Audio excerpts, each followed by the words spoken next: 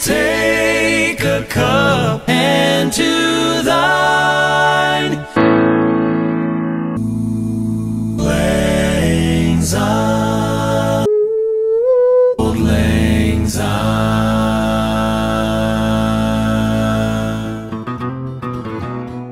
Yes, yes, the hell is here.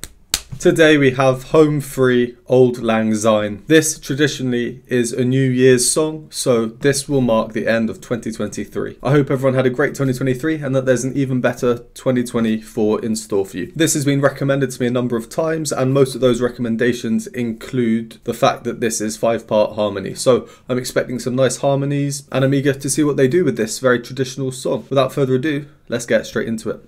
Should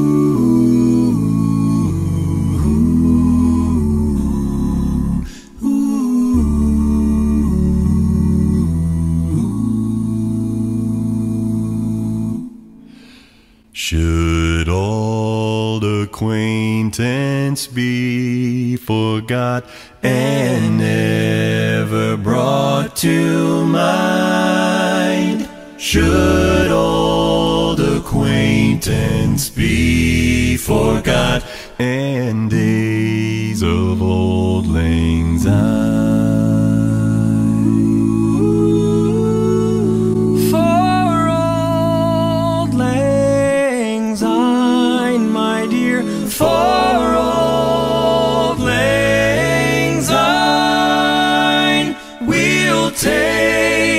Cup of kindness yet for auld lang syne. And he So Rob, uh, there's a lot to talk about there. Their voices just work so well together. They blend so nicely. I think this is a very nice one so far. It's certainly traditional in the sense that there's no modern beat accompanying the music. We have some very nice five part harmonies here. There's also a lot of homophony, everyone singing the same words at the same time in the same rhythm. But I also like how the video is modern. They're singing in an extremely modern high tech recording studio. I think it's a nice touch. They're being traditional, standing still, no choreography or movement or any difference really. And it's as if they're saying, let's choose a modern setting for, by our standards, a relatively traditional arrangement. So from what we just heard, I'd just like to go over a few points. Home free being home free, they love to get their juicy chords in. Chords that I would normally say are filthy, but good filthy. The first one I heard was here which was the end of the lyricless introduction. So in the video, they're showing it as four parts. Adam isn't singing at this part in the video, but we do hear more than four parts in this chord. This is the chord that we're hearing. I think their choice to just show four singers at this point is purely stylistic. One, maybe Adam isn't actually singing a part here and they've used multi-tracking and this is just their way of showing it. For example, maybe Tim is singing two parts. And two, even though there are five parts, there aren't actually five different notes, there are only four different notes. If we take a look at the chord again, you can see the different notes by letter we have are A, E, B, and C sharp. This one is an A, just like this one, so they're the same note, just at a different octave. If you have five different notes, so different letters, if you added in another letter in there, the chord naturally is just going to sound much more juicy because at that point we're moving away from traditional harmony. A traditional chord is made up of three different notes. And in this chord, the juicy note is the B. And as we are in A, the B is the second note of the scale, which we call the supertonic. When used well, and when sung very in tune, like Home Free are here, I think it always, always sounds nice. So the introduction, I like it. It's nice, it's almost quite mystical, there aren't any lyrics, and the introduction begins mid statement. We're in the middle of a melodic line, so their melody here goes. But the melody from the song that we're used to is. So it starts with. They've added two notes, which naturally displaces in our heads where, if there were words, the words would be. So they've made the melodic line longer, if you think of it that way in terms of syllables. If we were to use the lyrics and take a cup of kindness, normally it would be and take a cup of kind, but here it's and take a cup of. It sounds a bit different. So because of that, it's not immediately clear what's happening at this introduction. We're kind of thinking, hang on, are we? Where are we starting from? Are we starting at the middle of something? Have I missed something? It's a nice little short prelude to grab our attention, and then we get this entry.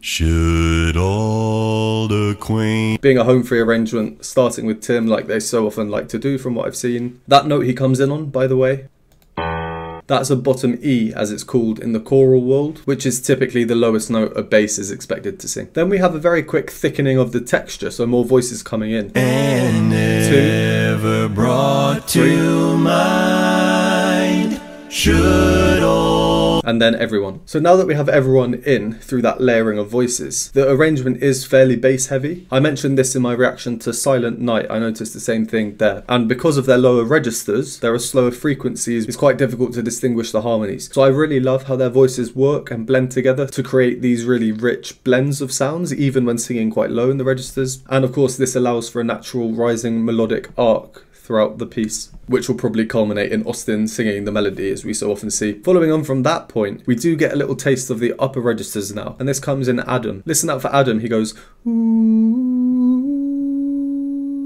of auld lang syne. From an arrangement perspective though, on that note, you'll hear Rob comes in and takes over Adam's note, which then allows Adam to rise and go up.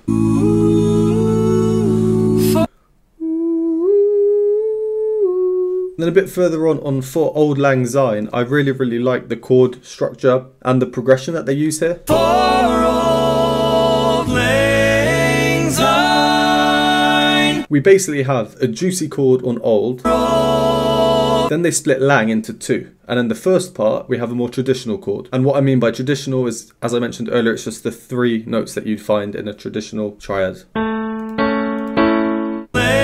And then the second part of Lang is a more juicy chord. And then on Syne, again, it's more of a traditional chord from a harmonic point of view. They're teasing us. Are they going to get filthy, good filthy, or not? Or are they going to stay traditional? All right, let's carry on. And here's a hand, my trusty friend, that gives a hand to thine. We'll take a cup of kindness yet for auld lang syne. For auld lang syne, my dear, for auld lang syne, we'll take a cup of kindness yet for old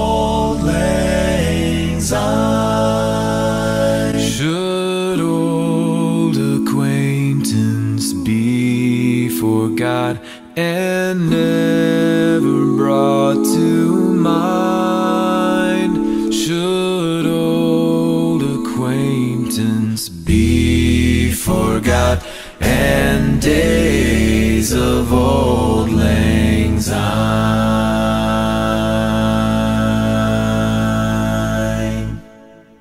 Nicely done, very nice arrangement. I like that. As I mentioned before, the arrangement was mostly homophonic, at least in the first half, with them all just singing the same words at the same time together. But then here, Here's a hand. these little snippets to break up the homophony are very clever, I think. They're not frequent, but they're just frequent enough to keep some variety in the performance so it's not just the same thing repeated. Then here, after singing Cup,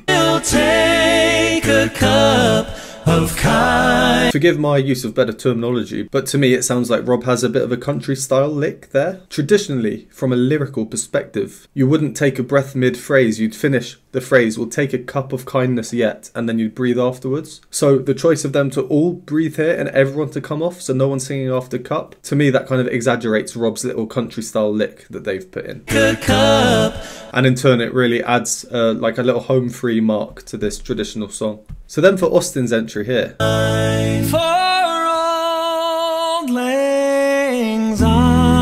You'll notice that no one else was singing for a lot of that. We also had this for similar entries earlier, with Tim's entry and then with Rob's entry, but each of them are singing on their own for a different amount of time. Tim was on his own for 8 beats, Rob for 1 beat, Austin here has 5 beats, and then after that, Chance has 1 beat just like Rob did. This is an example of a very subtle way to change the overall structure of the piece, whilst also keeping the original feel of the piece the same, if that makes sense. So this next part I'm about to play, we have this really nice full sound higher up in everyone's registers, except for Tim, who is descending ascending downwards, and finishing low, which exaggerates how high up everyone else is. My dear, for auld lang syne. I particularly like the highest part though, the part above Austin. If they've not used multi-tracking here, then that part will be Adam, because I've heard Adam's higher register before, and I think it's such a nice, clean sound. This note up there is an A, which is towards the top of an operatic tenor's range. So being at that kind of register, you need to decide if you're going to sing it with your head voice or falsetto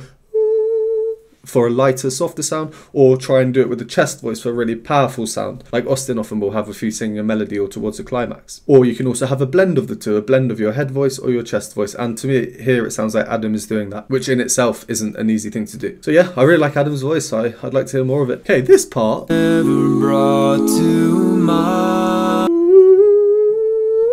That line, is that Tim singing falsetto? I think it is.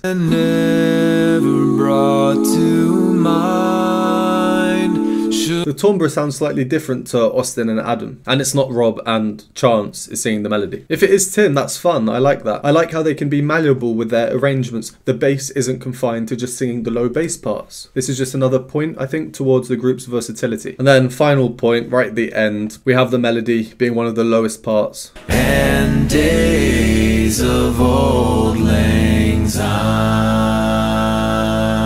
It's bass heavy, rich harmonies, it's difficult to distinguish each part, and the penultimate chord on Lang. They include the closest clash possible, a G sharp and an A, before finishing on a nice, simple, traditional chord, no funkiness or juiciness there. Just the three different notes, as traditional a chord you can get. Overall, I, yeah, I really like that arrangement. I thought it was great. They were testing the boundaries of how harmonically dangerous they could get, but I think as a whole, it was perfect. Traditional, very respectful to the original song, I feel. I like the setting of the video. They had their little home free marks, some country style licks, some nice juicy chords, but nothing too crazy. I don't think there's anyone who'll hear that and think, oh, that's a bit too out there for me. Well, let's leave it there. As I said at the beginning, I hope everyone had a wonderful 2023 and I wish you all an even better 2024. As always, thank you for watching. Would appreciate a like, subscribe, and I will see you next time.